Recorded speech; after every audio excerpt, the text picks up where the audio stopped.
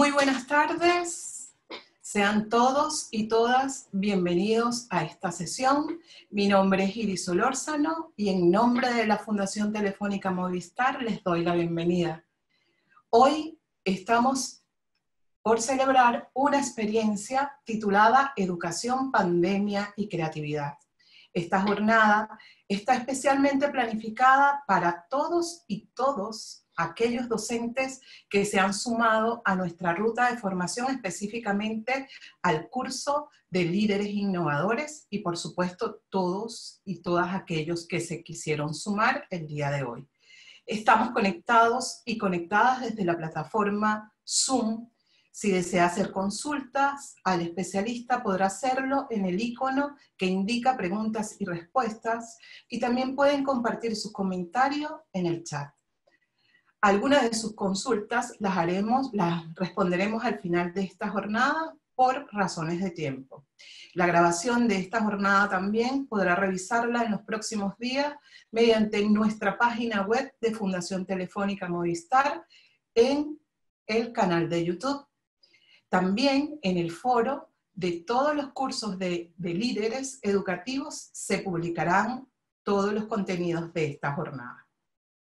Nos acompañan detrás de esta sesión para que todo técnicamente salga bien la señorita Ana Ñáñez, Pilar Sierra y Paula Almarza. Nuestro trabajo se desarrolla desde la acción colaborativa de profesionales que creemos en mantener un espíritu pedagógico esperanzador. Por ello, hoy nos acompaña Rodrigo Loaiza, responsable de la gestión de formación docentes Profuturo, quien abre esta jornada para entregar un cordial saludo. Bienvenido, Rodrigo, tienes la palabra. Gracias, Iris. Gracias por invitarme. Un saludo a todos los profesores y profesoras que están aquí conectados desde Arica hasta Punta Arenas, veo. Eh, de algunos lugares que conocemos, como el Puelmapu, de Peñarolén, y algunos que nos gustaría conocer, eh, como la segunda región, que me gustaría ir para allá también. Como decía también Iris, la Fundación Telefónica lleva más de 10 años promoviendo oportunidades de desarrollo para los profesores del país porque sabemos, porque somos profesores además, sabemos que, que cumplimos un rol clave en la escuela. Y si no podemos estar hoy día con ustedes en la sala, podemos estar ustedes, con ustedes acompañándolos de manera virtual. Por eso estamos también eh, entregando oportunidades de desarrollo, como ustedes ya saben, con cursos de capacitación virtual en temas que son contingentes para el quehacer de los docentes hoy día, pero también estamos juntándonos y juntándolos entre ustedes en estos espacios de conversación que espero que sean de gran provecho para todos los asistentes. No quiero quitarles más tiempo porque seguro que la jornada de hoy se viene muy interesante. Así que, y eh, continúa con la, la presentación. Muchas gracias por invitarme. Muchas gracias a ti, Rodrigo, por acompañarnos e introducir con tanta energía, ya que nos va a hacer falta, vamos a necesitar mucha energía para participar en todo lo que nos, lo que nos entregarán hoy. Esta actividad es bien especial porque tal cual como su título lo, lo anuncia, tiene que ver con un poco de creatividad. Y, como decía, está inspirada en nuestro curso de líderes innovadores.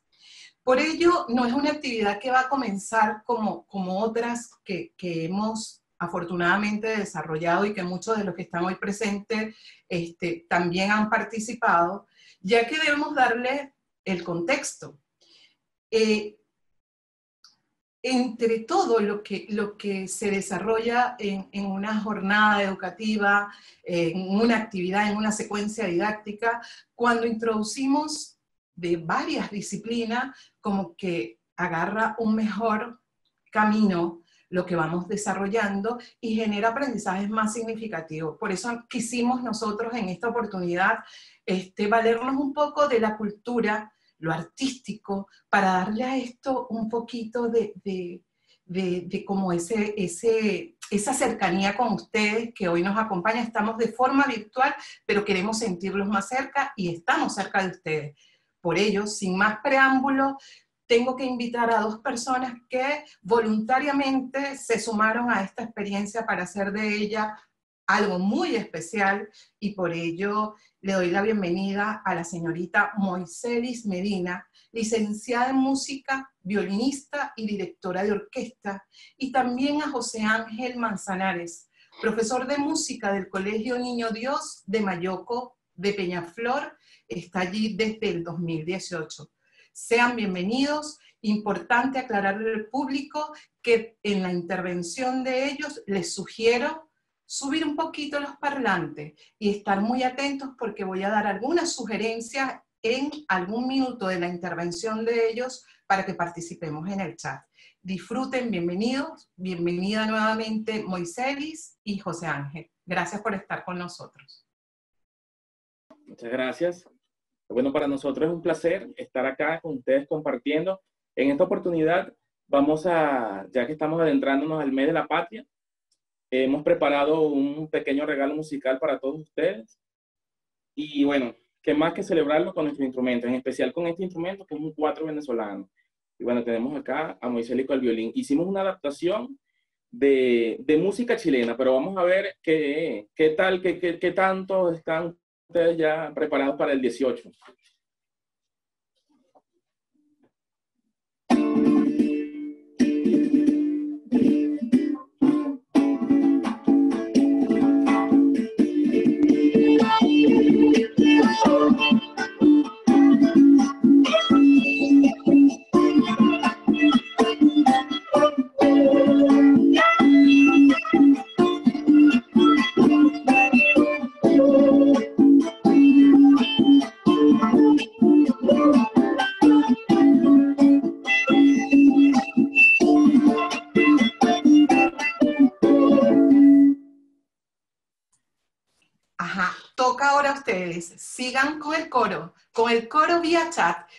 La música no continúa. Tienen que rapidito por el coro completar en el chat.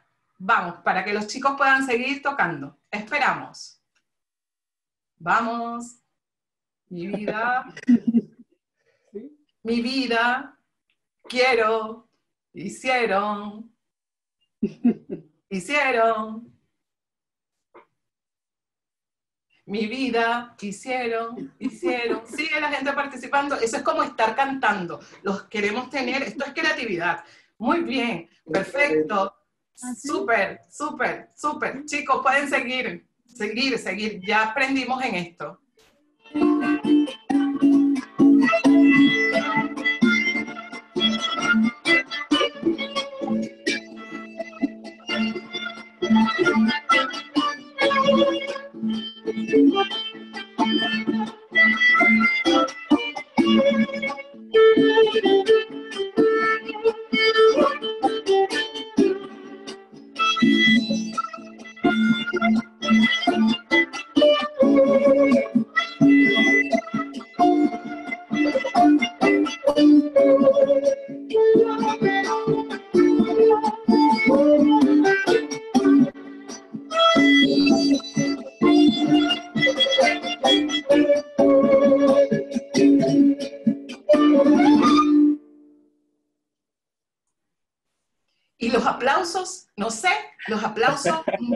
por allí, por el chat. Este, seguimos, seguimos, seguimos, seguimos. De verdad, de verdad, esto es distinto y lo que estamos haciendo es una antesala a las fiestas patrias. No importa que haya pandemia, no importa que haya coronavirus, pero hay que sentirlo y nosotros como extranjeros tenemos que sumarnos y esto es creatividad también. De verdad que suena lindo, la gente está súper emocionada por el chat, no paran de escribir felicitaciones, el bravo, este, de verdad que, que, gracias chicos, de verdad tenerlos acá es una, una maravilla. Bien, para despedirnos, entonces, bueno, vamos a ver, a ver si saben cuál es. Vamos a, a ver qué tal, a ver si la han escuchado alguna vez. Vamos a seguir participando, ¿ok? Creatividad.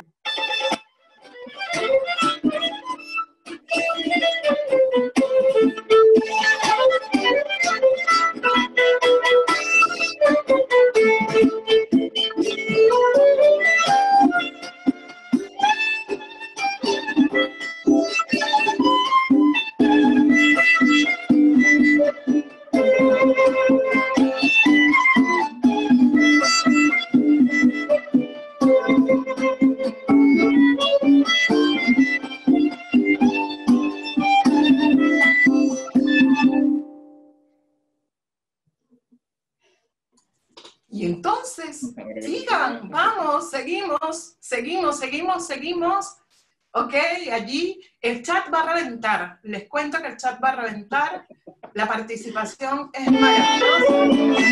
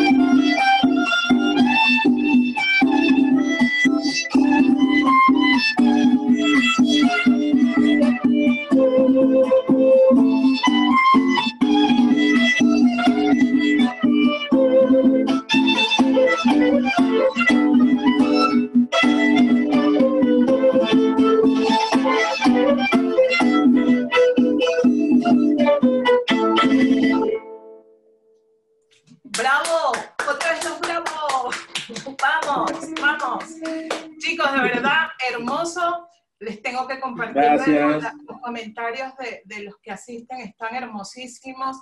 Esto ya aprendió, esto aprendió y esto no lo apaga hasta que cierre esta sesión y ustedes le han dado esa buena energía. Muchísimas gracias. Entramos ya el 18, señores, entramos ya. El tiqui tiqui tiqui está sonando allí fuerte. ¿Verdad? Muchas Abrazos, gracias. Bueno, espero que lo hayan disfrutado nuestro pequeño homenaje previo a las fiestas patrias. Un placer, Gracias. muchas gracias. Muchas gracias a ustedes. Muchas gracias.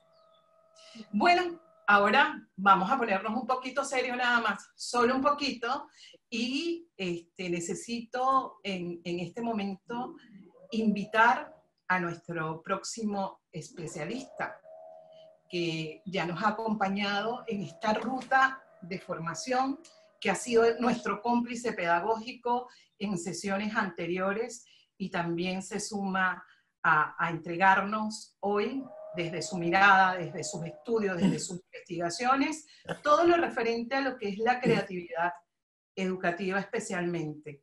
Hablo, por supuesto, del doctor Mario Sandoval, experto en convivencia escolar, doctor en sociología de la Universidad Católica de Lovania, Bélgica, postdoctorado en educación de la Universidad Autónoma de Barcelona, España, académico de la Escuela de Trabajo Social de la Universidad de Los Lagos y director del Centro de Estudios de la Corporación Educacional Educamino. Mario, como siempre, bienvenido y gracias por sumarte nuevamente cómplice, como, como cómplice pedagógico a, este, a esta jornada. Bienvenido.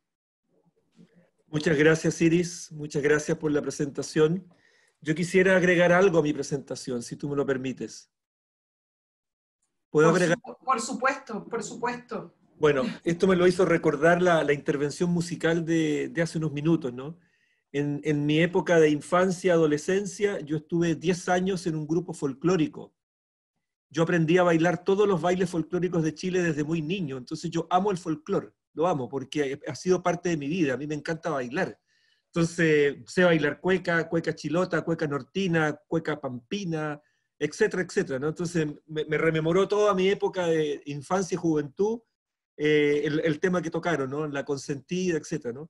Y, y no, no, nos introduce en este tema tan interesante como es el tema de la, de la creatividad.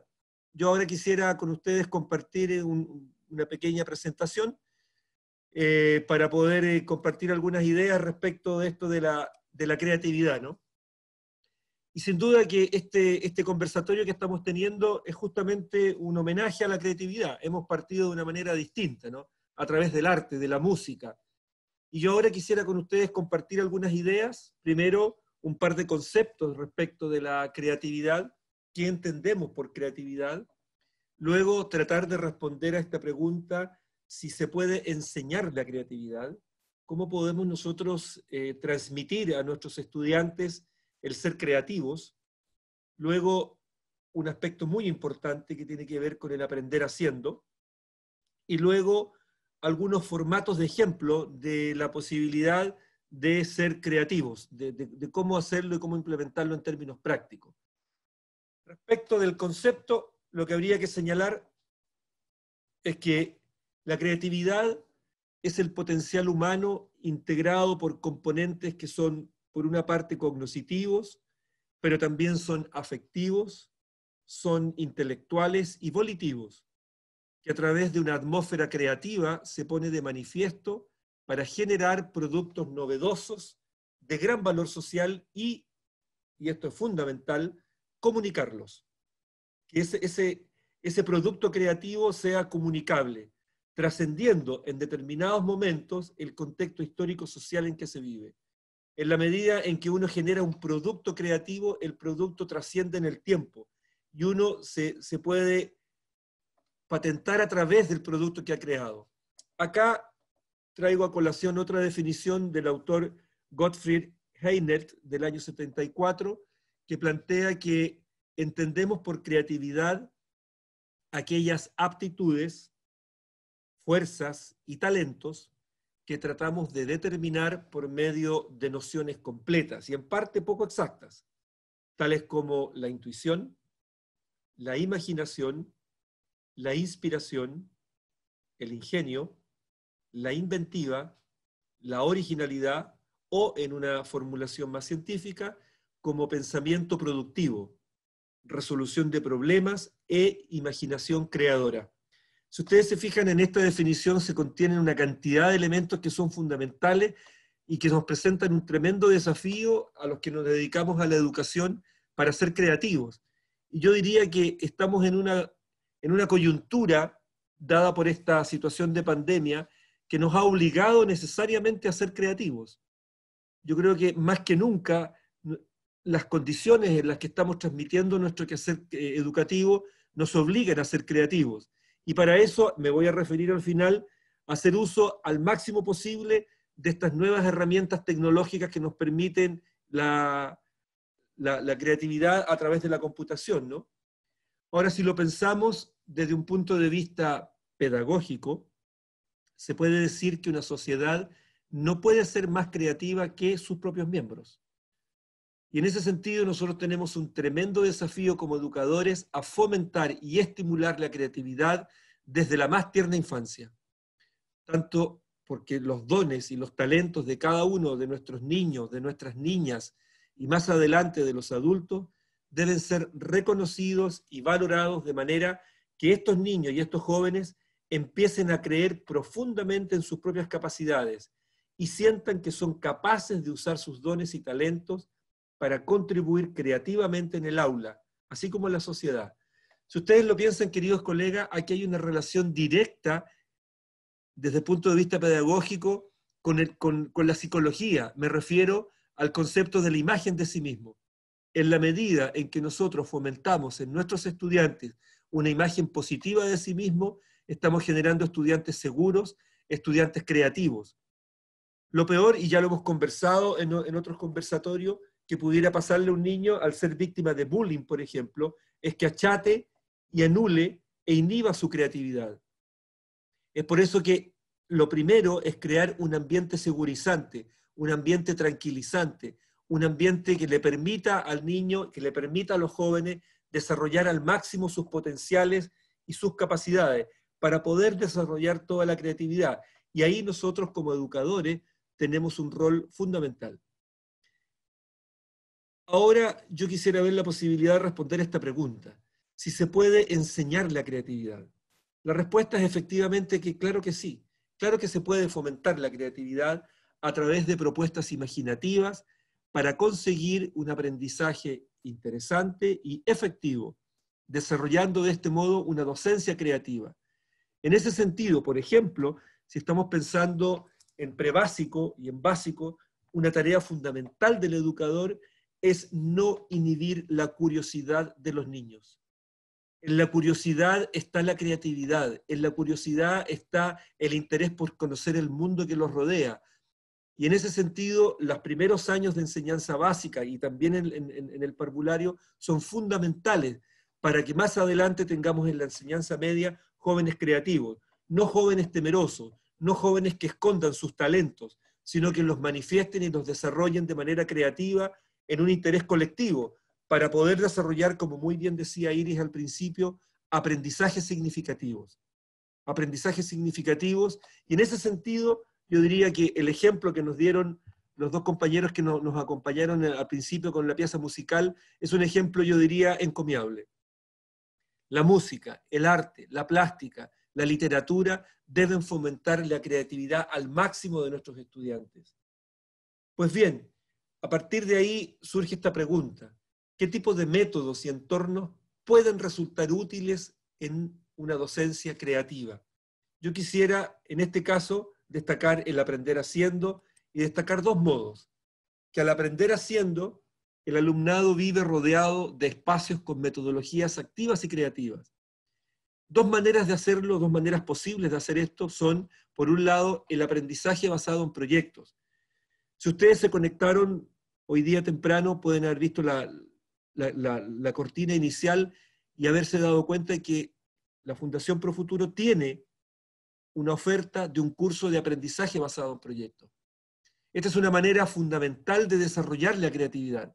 Se puede aprender y se puede estimular a través del aprendizaje basado en proyectos, donde el estudiante toma la iniciativa, donde se fomenta la autonomía de los estudiantes, la autonomía de los niños y de los jóvenes, para que ellos desarrollen sus propios proyectos y a partir de ahí aprendizajes significativos. Y en segundo lugar, el aprendizaje basados en la resolución de problemas. Es decir, dejar atrás solamente el aprendizaje memorístico o el, paradigma clásico conductivista, sino que hacerlo a través de un paradigma constructivista.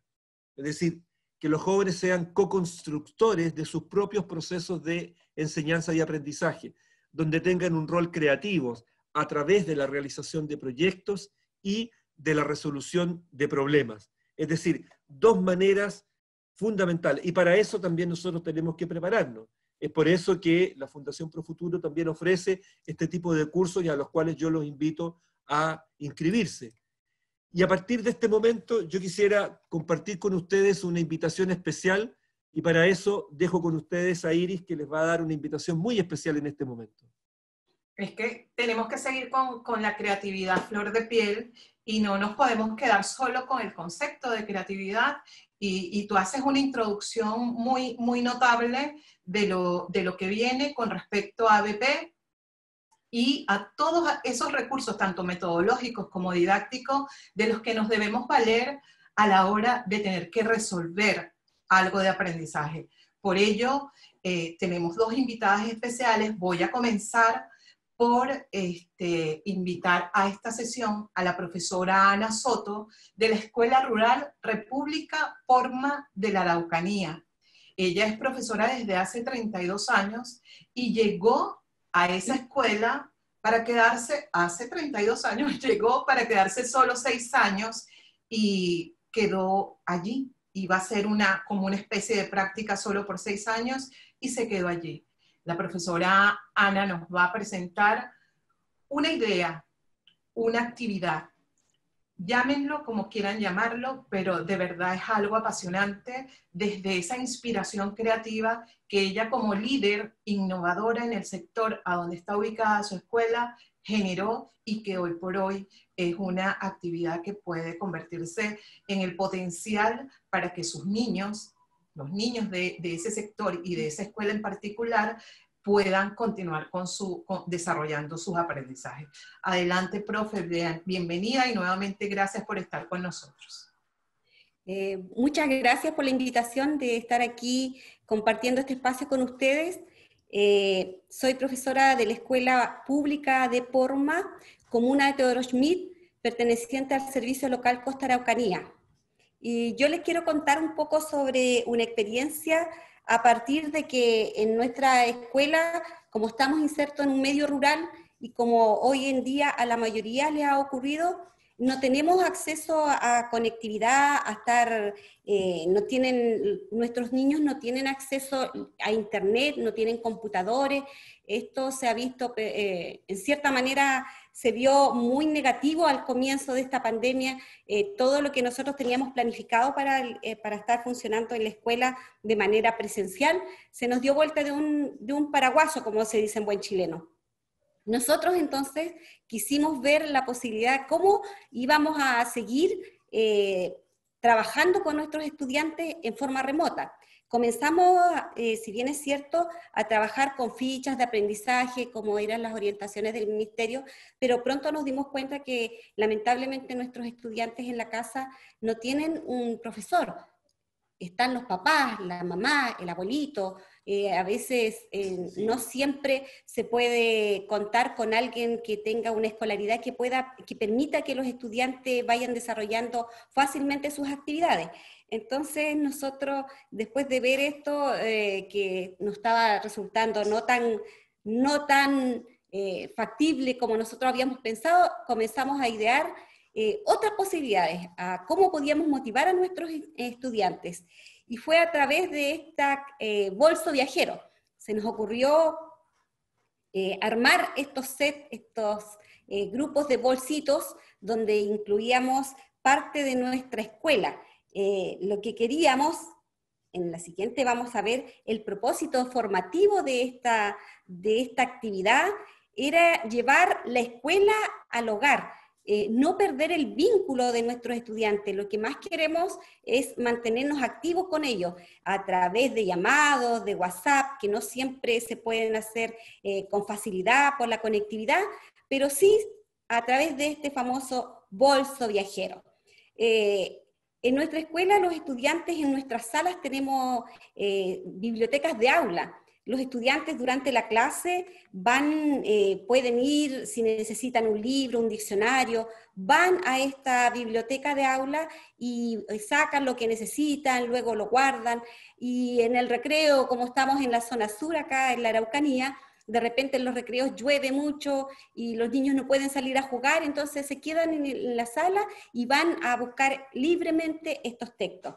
Bueno, nosotros quisimos llevar un poco de esto que los niños habían perdido porque lamentablemente están en sus hogares, nos hemos distanciado físicamente, no así nuestro vínculo, entonces eh, le diseñamos estas bolsitas. Yo trabajo con mi esposo en este colegio y con él buscamos estos cinco bolsitos, los armamos y pusimos en ellos eh, una variedad de, textos. Pero también dijimos, si ya vamos a trabajar con el lenguaje para fomentar y motivar el lenguaje, también hagámoslo con un bolso viajero matemático. Eh, en la siguiente vamos a ver nuestros bolsos viajeros. Eh, ya dijimos que teníamos que fortalecer la interacción social de nuestros estudiantes.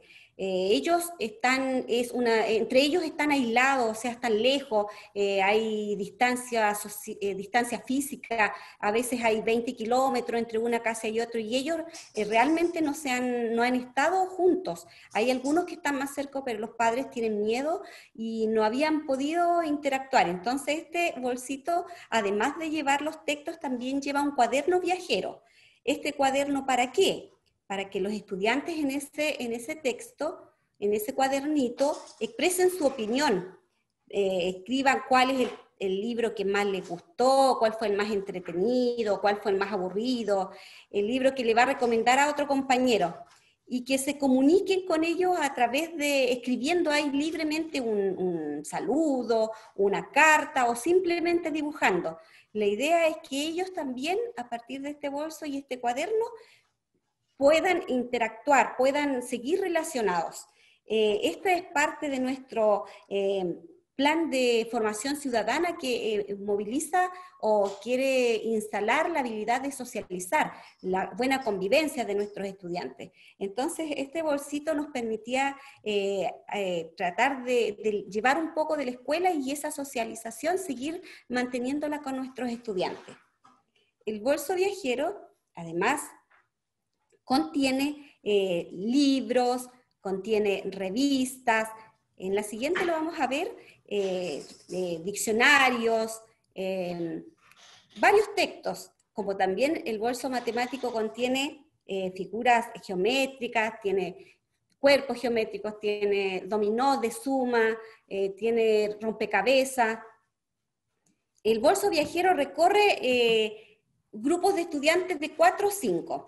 Ellos, la idea principal de este, de este bolso es que ellos puedan jugar con estos juegos, leer y hacerlo libremente. No queremos que lean todos los textos, ojalá eso ocurra, pero lo que más queremos es que ellos puedan leer por, gusto. Eh, no olvidarse de que siguen siendo parte de la escuela y que a través de, esos textos que son de la biblioteca de su aula eh, están llegando a las casas.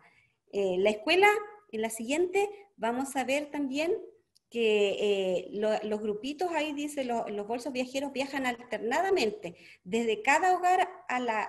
Eh, bueno, cuando están en su hogar, ellos los guían, los buscan, ven cómo están, luego los hacen llegar a la escuela nuevamente. En esta de aquí dice eh, también que ellos escriben una carta a un compañero de su mismo grupo. Recuerden que son grupitos de cuatro o cinco, entonces ellos van interactuando entre ese grupo. Cuando termine de dar este circuito a todos los compañeros, nuevamente vamos a armar otro bolso viajero y también estamos viendo otras ideas que puedan ir, ya como van a tener la experiencia de, leer algún texto, vamos a ir a los que ya no están ocupando el bolso viajero e incluyendo otras ideas, porque a partir de una idea, cuando va funcionando, se va eh, prendiendo la ampolletita y va surgiendo otra. Nosotros, esto cuando ya retorna a la escuela nuevamente, nosotros lo sanitizamos, eh, vemos qué fue lo que escribió y a quién de su grupo le escribió este nuevo, este niño, y lo, lo, sanitizamos, como les dije, y de ahí lo enviamos nuevamente al hogar que destinó este estudiante. La idea principal, en la siguiente, vamos a ver, que es que nuestros estudiantes lean, y aquí les presento un poco cuál es mi realidad. Lo que ven al fondo es el horizonte y es nuestro océano Pacífico, tal vez nuestra piscina porque está en el exterior de la escuela. Eh, como pueden ver, inserto en una comunidad eh, indígena, mapuche, y con muchas ganas de que nuestros estudiantes sigan motivados porque eh, manteniendo este bolso viajero, tenemos la motivación de que vamos a seguir aprendiendo. Eh, no importa que la conectividad, no importa los inconvenientes que tengamos, tenemos que buscar algunas maneras, eh, algunas iniciativas que nos den resultados. yo soy parte, nuestra escuela en realidad es parte de un microcentro que se llama Compuchen y que la componemos nueve, nueve escuelas ocho de ellas unidocentes, la nuestra es la única bidocente. Y también estas ideas las compartimos a nivel de microcentro, eh, tratamos de irlas impulsando, eh, los otros colegas nos comparten las buenas experiencias que han tenido y nosotros también a ellos. Y les doy las gracias por haberme invitado y haber sido parte de esta, de esta sesión y de haberles dado a conocer lo que estamos haciendo nosotros acá en el sector rural. Eso sonó como música creativa pedagógica, ¿no? Venimos con pura música, con pura creatividad, con pura, pura innovación también. Este, de verdad que eh, nos enamoramos de tu propuesta desde hace rato. Es la segunda vez que estás con nosotros y, y, y es la segunda porque mucha gente debería conocer tu propuesta. Han surgido algunas preguntas, entre ellas ya has ido respondiendo en tu relato, pero voy a citar dos para que las respondas de una vez. Este, ¿Cuánto tiempo los estudiantes tienen el bolso con ellos? ¿Cuánto dura? El, bolso sería la primera y la segunda es si el bolso lleva algunas instrucciones de lo que deben hacer los niños. Esas son las dos preguntas que veo más, más representativas en esta, en esta sesión. Eh, bueno, este bolso viajero está 15 días en la casa de un estudiante. 15 días y también lleva, en la portada lleva las instrucciones de lo que tiene que hacer y en el cuaderno lleva escrito también, eh, lleva guiado cuáles son los que nosotros queremos que vaya compartiendo con el otro compañero después. Sí, va, va guiado, tiene una guía. Y esperamos que a los 15 días los profesores vamos a las casas y recogimos ese, ese, ese bolso, lo traemos a la escuela, lo sanitizamos y otra vez lo, volvemos a otro de los compañeros donde se, envió ese. Nosotros somos los mensajeros del bolso. vamos a donde nos dicen nuestros estudiantes. Y lo tenemos como 15 días, como les digo, porque en realidad en, nuestra, en las casas de nuestros estudiantes no tienen la posibilidad de tener una biblioteca. Y a veces eh, nosotros lo hemos eh, también intencionado de enviarlo a donde hay parejas de hermanos o hay una persona, eh, un hermano mayor que también pueda compartir que fue a lo mejor exalumno de nuestra escuela o del, de un liceo y entonces también hacen, eh, esperamos que todos en realidad eh, compartan esta, esta alegría de tener textos en la, en la, casa y de que puedan hojearlo, leerlo y todo sea por gusto. Hay, hay un objetivo que tenemos que tener, es mantener esta, nuestra chispa del aprendizaje y la lectura es transversal a todo, así que Sí, así es. Muy bien, muy bien. De verdad, muchísimas gracias. Siguen surgiendo cosas por allí. Te mandan muchas felicitaciones por el chat. Todos admiran tu, tu actividad y eso es lo que queremos, que lo que pase hoy acá sea inspiración pedagógica para todos que realmente todos los que nos acompañan hoy y que realmente han sentido alguna limitación, el cómo este, llevar el aprendizaje a sus niños en este momento, sentimos que tú eres una, una, un ejemplo, un ejemplo porque este, comunicabas de que a veces no tienen conectividad y eso no los ha limitado a continuar desarrollando. Yo creo que tiene que ver un poco cómo este, los proyectos a través de resolver un problema. Por allí vamos a seguir hablando. Muchísimas gracias. El tiempo es oro en este espacio, así que yo voy a continuar con la invitación especial a esta sesión de una persona bien especial para nosotros, todo el equipo de Profuturo, Fundación Telefónica Movistar, y es la profesora Cintia Pereira. Es nuestra colega de trabajo y se ha convertido y es nuestra especialista en ABP decidimos invitar a Cintia hoy, ya que nos va a presentar desde esa metodología posibles, y ya el doctor Mario lo comentaba, este, el aprendizaje basado en proyectos genera y nace de los procesos creativos en equipo, en colaboración. Pero yo no voy a hablar más, sino que bienvenida Cintia, tienes la palabra, gracias por este, ser cómplice de este encuentro. ¿okay? Muchas gracias Iris eh, por, la bienvenida y la presentación. Eh, quiero saludar a todos los profesores y las profesoras que están conectadas el, día de hoy. Eh, Iris y Pilar, muchas gracias por hacerme parte de este, de este conversatorio con personas tan importantes como la profesora Ana Soto, que, no, nos motivan, ¿no es cierto?, a nosotros los profesores a seguir creando y también las, sabias palabras que, nos da Mario en su presentación. quiero compartir eh, con, con, ustedes un pequeño video. Creo que ese video eh, genere lo que estamos propiciando en esta actividad, que genere, ¿no es cierto?, la creatividad. Así que lo invito a que vean este video y luego en el chat me compartan, compartan con todos eh, los que están conectados qué pregunta ustedes le harían a sus estudiantes en base a este video, como para motivar su aprendizaje, para motivar la creatividad, etcétera. Lo invito a verlo.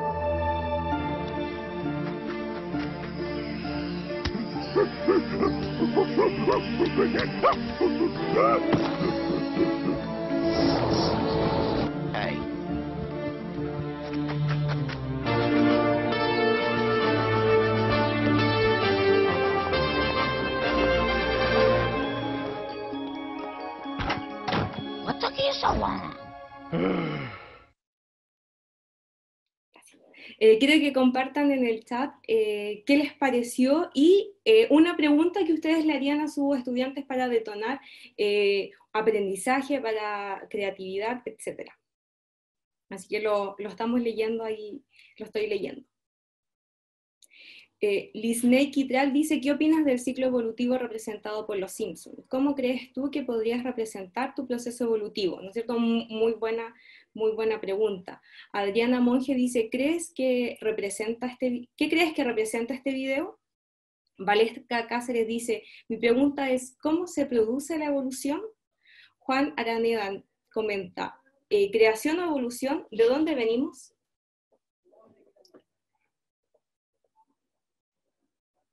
Carol Muñoz, ¿qué errores encuentras en esta secuencia? César eh, Cuevas dice, ¿qué sintieron al ver el video? Quiero invitar a todos los que, y gracias a todos los que están compartiendo eh, las preguntas, invitar que a partir de este video y de las preguntas que están generando, ustedes pueden empezar a hacer una BP. Eh, porque el ABP eh, busca, ¿no es cierto?, despertar la curiosidad, busca generar la creatividad y también es una de las metodologías eh, que nos ayuda, sobre todo en este momento de pandemia, pero también en la presencialidad. Es una metodología activa que permite el desarrollo de las habilidades del siglo XXI y que por y que involucran, ¿no es y generan un aprendizaje significativo en nuestros estudiantes. Eh, el ABP, eh, de manera muy, muy resumida, ¿no es cierto?, tiene varias partes importantes, pero nace de alguna pregunta, como también dijo eh, el profesor Mario, que pueden nacer también de alguna problemática o también de algún reto que nosotros le podamos plantear a nuestros estudiantes. Luego de ello viene la investigación, la idea del trabajo colaborativo, que los estudiantes puedan trabajar colaborativamente, ¿no es cierto? Eh, que haya una evaluación constante durante el proceso de, no solamente realizar una forma de evaluar, sino que ir, incorporando otras formas de, evaluación como la coevaluación, la autoevaluación, fomentar también lo que es la evaluación formativa y eh, viene con, y termina, ¿no es cierto?, con la presentación del producto y las reflexiones que eh, podemos realizar entre todos, tanto estudiantes como eh, profesor, de lo que fue la creación y todo el trabajo que llevó el, el proyecto en sí. Comentarles también que es importante que la presentación del producto sea algo que visibilice el trabajo que han hecho los estudiantes, porque como, como, decía Mario, eh, cuando los estudiantes tienen una imagen positiva de sí mismos, eh, logran ser más creativos y también genera mejor aprendizaje y, los motiva a seguir aprendiendo. Entonces, cuando ellos ven reflejado lo que han hecho eh, y, y ven que el conocimiento que ellos han empezado a crear es visible, es tangible en algo, eh, ellos se motivan a seguir eh, aprendiendo y, y, seguir eh, creando también conocimiento. Aquí es importante que el rol del profesor también cambie un poco y nos volvamos más guía del aprendizaje que tienen los estudiantes. Y el aprendizaje basado en proyectos, lo que una de, de, las habilidades que más fomenta, aparte del pensamiento crítico, es el aprender a aprender y también es el pensamiento creativo. Vamos a la, segunda lámina. Eh, en el centro de, todo el, de todo el ABP es importante crear una pregunta y para eso las preguntas tienen que tener ciertas características, tienen que ser complejas, tienen que ser fascinantes, tienen que ser significativas y como por ejemplo leo una pregunta de Ana María Cabrera que dice, ¿te hace sentido? Eh, es necesario también interpelar a los estudiantes, es... Eh, es importante que los estudiantes también tomen una postura, tomen una posición y se sientan también incorporados. Por eso, eh, cuando uno ya va eh, agarrando vuelo en el ABP, también es importante que la pregunta o la problemática o el reto nazca sobre, eh, nazca de los intereses y motivaciones de los estudiantes. otra característica importante de la pregunta esencial eh, tiene relación con que no sea googleable. Eh, es súper, es muy eh, es muy bien visto cuando el estudiante te dice, profe, pero no encuentra la respuesta en Google. Quiere decir que hicimos una muy buena pregunta porque eso invita, invita a que el estudiante investigue y sobre esa investigación pueda realizarse otras preguntas y vaya también aprendiendo y construyendo el conocimiento.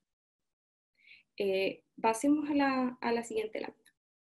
Yo aquí les dejo algunas, eh, posibles preguntas.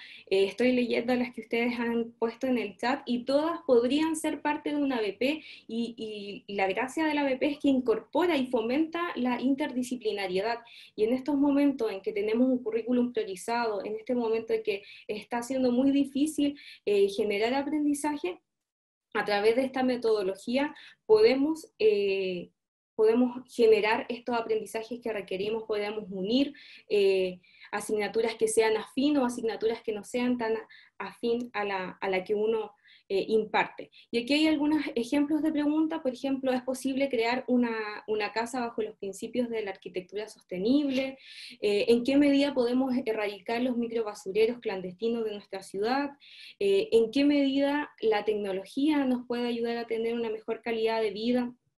¿Por qué no nos alcanza el dinero? Puede ser una buena pregunta para iniciar, sobre todo tomando en cuenta este, el, contexto, que ¿no es cierto?, que las cosas están más caras, no, todos tenemos la, posibilidad de, contar con un, con un sueldo sueldo, ¿no es cierto? Entonces, ¿cómo podemos, eh, ¿cómo podemos vincular esto con la economía doméstica? ¿Cómo también podemos vincular eh, a través, por ejemplo, de cómo crear una casa bajo los principios de la arquitectura, también vincular a la familia, eh, cómo nos afectan las crisis extranjeras y aquí esta la podríamos también eh, modificar y hablar sobre el COVID, cómo el COVID también ha transformado nuestra cotidianidad, ha transformado las relaciones que tenemos con, eh, con nuestras familias.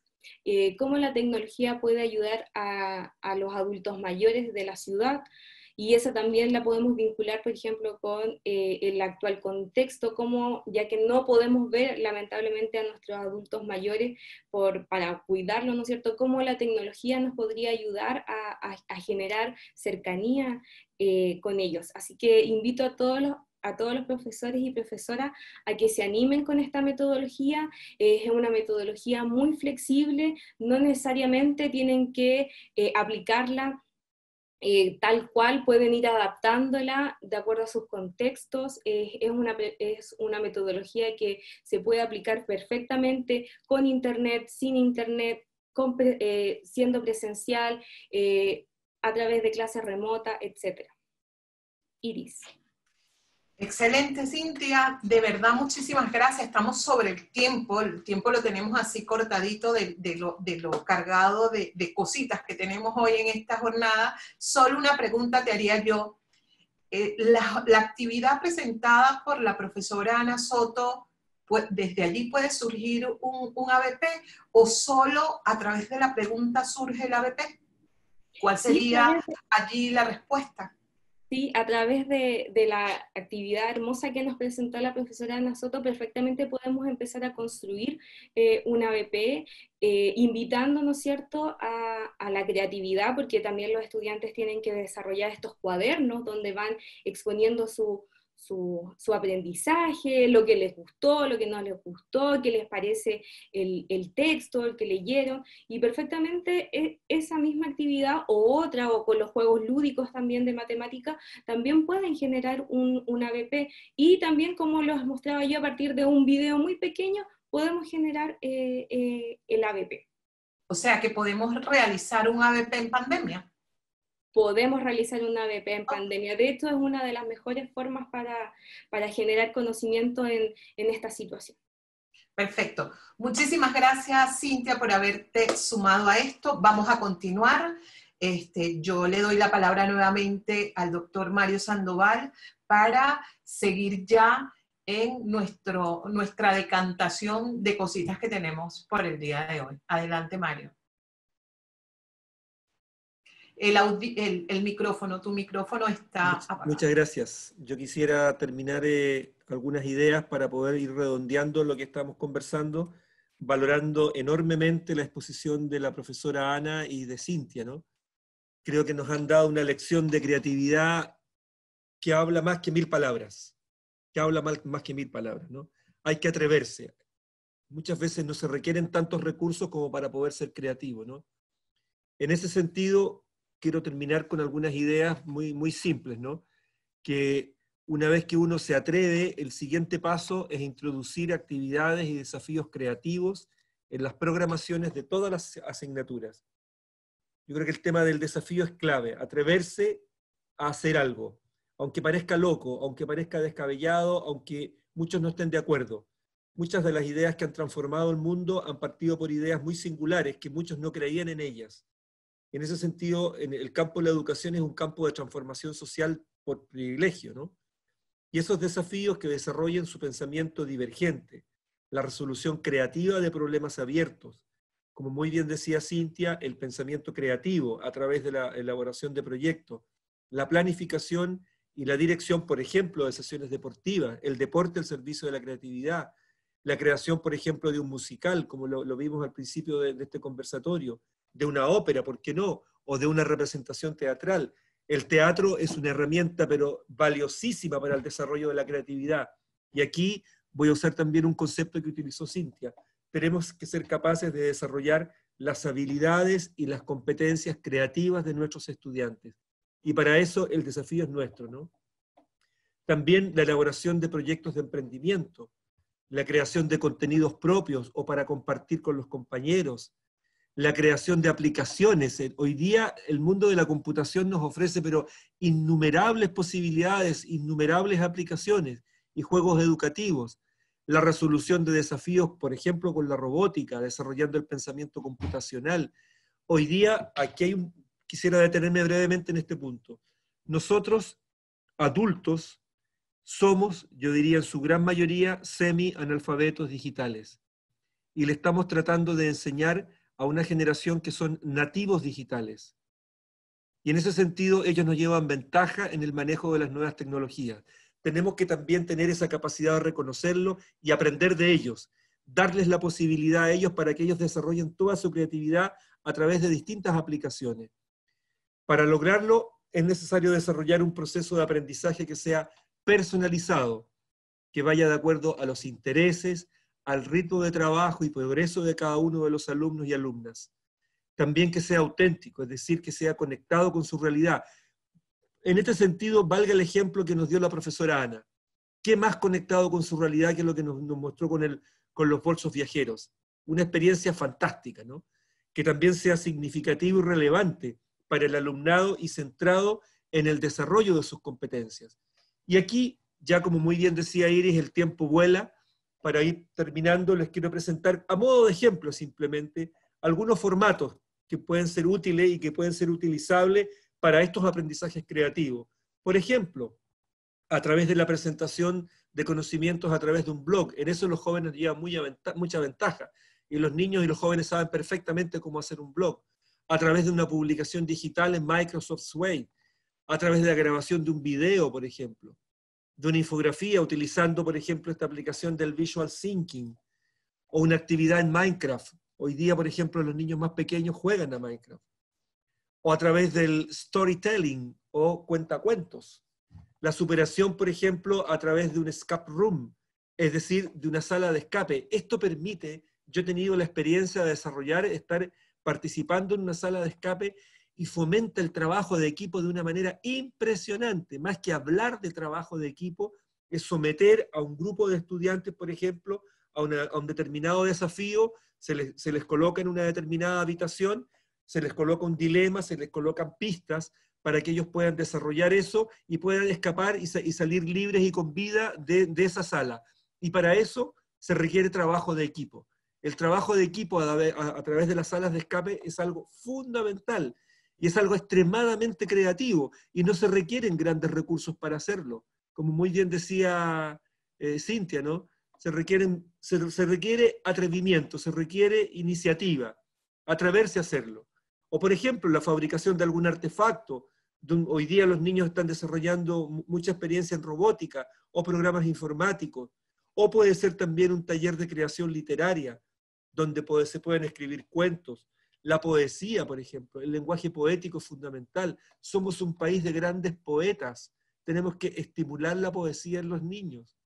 La novela, la novela corta cooperativa, una representación musical como la, como la que escuchamos al principio, o una composición artística. Son distintas posibilidades. Hay otras muchas más, ¿no? Ahí está, yo diría, el desafío de ser cada vez más creativo. Y para poder terminar y como síntesis me atrevería a decirles lo siguiente, que el cambio de mentalidad hacia la visión de convertir la educación en un escenario en el que desarrollar la creatividad, el trabajo en equipo, el emprendimiento, la mejora de la comunicación, el desarrollo de competencias y la toma de decisiones es un planteamiento tremendamente creativo en sí mismo para el profesorado. Y es que está comprobado que una vez que entra la creatividad en una escuela o en un colegio, ya no hay quien la pare, ya no hay vuelta atrás, todo cambia. Y, en ese sentido, si nosotros potenciamos la, creatividad, los estudiantes van a, tomar, van a tomar el testimonio y la van a desarrollar. Y nos van a exigir cada vez a ser más creativos, porque ellos son muy creativos. En ese sentido, yo diría, y con esto quiero terminar, hay una, una condición sine qua non para que esto se desarrolle. Una condición sin la cual no, esto no pasa. Y es que tenemos que ser capaces de confiar en nuestros jóvenes. Tenemos que ser capaces de confiar en nuestros niños. Y no, no pensar de que en la confianza está el peligro, por el contrario, en la confianza está la posibilidad de ser creativos. Hay que atreverse. Muchas gracias. Muchas gracias a ti también, Mario. Como siempre, este, nos dejas allí como que eh, pegaditos con, con, todas esas reflexiones, con toda la puesta en escena de, de, de, esa ruta. Recoges prácticamente todo lo que ha sucedido en este espacio. Eh, de verdad, los profes han estado súper potentes y activos, ha habido mucha buena energía eh, eh, en todo el chat y recoges desde, desde esos testimonios, desde esa, desde esa síntesis incluso que hiciste, este, lo que va pasando.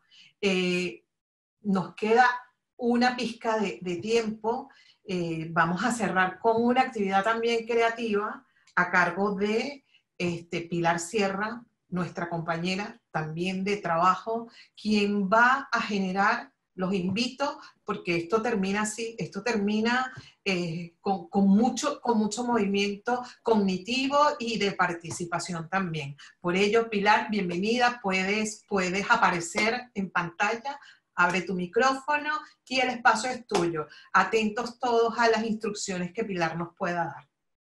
Super Iris, muchísimas gracias. Feliz de participar en esta actividad final. Eh, le comento que vamos a hacer esta actividad, ¿verdad? Con una herramienta, una herramienta que consideramos que es muy creativa y que se adecua muy bien en este momento, ¿bien? Entonces les voy a pedir, quizás muchos ya la conocen, se llama Kahoot. Voy a compartir pantalla. Y este, para los que no la conozcan, no se preocupen, yo les voy a dar una introducción inicial para que puedan participar. Entonces, ¿en qué consiste? Eh, le vamos a pedir, vamos a bajar un ok. Le voy a pedir que ingresen a esta página que ven aquí, que se llama kahoot.it. Van a ingresar este, desde su celular, su dispositivo móvil, o desde su ordenador, ¿sí? Y este, van a colocar este pin que aparece aquí, 371349.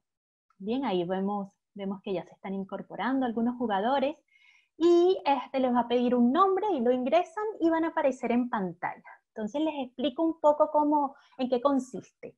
Este, una vez que yo le, eh, le dé inicio Al, al, juego, van a aparecer unas preguntas. Va a aparecer una pregunta inicial y va a aparecer cuatro posibles respuestas. ¿sí? Entonces, estas respuestas están asociadas a un color que lo van a ver en su dispositivo móvil o en su ordenador. Y allí van a seleccionar la respuesta que ustedes consideren que es la correcta. Entonces, muy atentos, les deseo éxito a todos y vamos a dar comienzo al juego para finalizar esta jornada. Allí, denme un segundo. Vamos a ver qué pasó. Nuevamente el código, por favor y su nombre para comenzar, avanzar, a estar ingresando. Entonces vamos a comenzar con este, el juego. Bien, entonces ahí ya estamos buscando nuevamente y ahora sí vamos a comenzar, ahora sí va a resultar. Comenzamos. Y allí tenemos la primera pregunta, muy atentos. De la imagen que se presenta puede quitar tres de los seis fósforos para dejar de esta imagen que ven aquí en el centro, pueden quitar tres de los seis fósforos para dejar cuatro. Muy bien, esta es la pregunta de prueba. Allí tienen las opciones en su ordenador o en su móvil, ahí ya están respondiendo. Muy bien.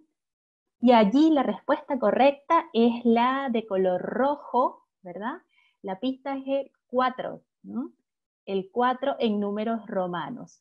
Muy bien, aquí continuamos con la siguiente pregunta, muy atentos. Aquí sin, sin va respondiendo rápido. Muy bien. La segunda pregunta. Un hombre apaga la luz de su casa. Al día siguiente ve que mueren 100 personas. ¿Sabría decir qué sucedió? Aquí tenemos las, las respuestas. Lean con calma.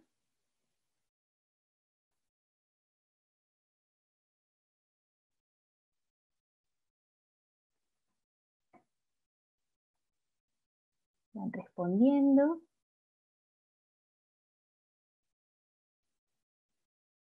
Muy bien, y la respuesta correcta es la verde, era un faro, se estrelló un barco, bien. La casa de este hombre era un faro, al apagar la luz se estrella este barco y mueren las 100 personas. Qué trágico. Entonces continuamos con la siguiente pregunta, y va Claudia de primer lugar, muy bien. Al entrar en una habitación encuentra a Marco Antonio y Cleopatra muertos en la alfombra. ¿Sabría decir qué sucedió? Tenemos cuatro respuestas.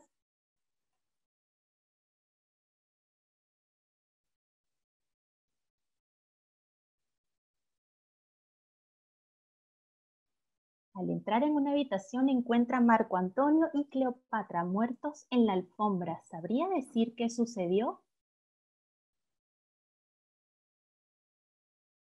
Aquí vamos. Y se cayó el acuario con un par de peces. Estos personajes eran un par de pececitos. Y al caerse el acuario, están muertos en la alfombra. Bien, continuamos con la tercera, cuarta pregunta. ¿Qué curso contiene estas y otras actividades didácticas que buscan despertar la creatividad del participante?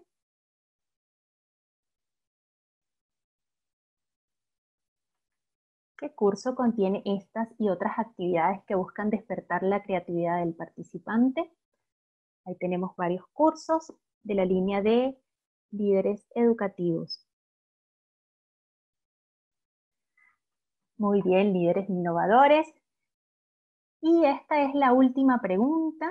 Ahí vemos que Claudia sigue en el primer lugar. ¿Verdadero o falso? ¿Te gustaría seguir participando en nuestras propuestas de formación? ¿Verdadero o falso? ¿Sí o no?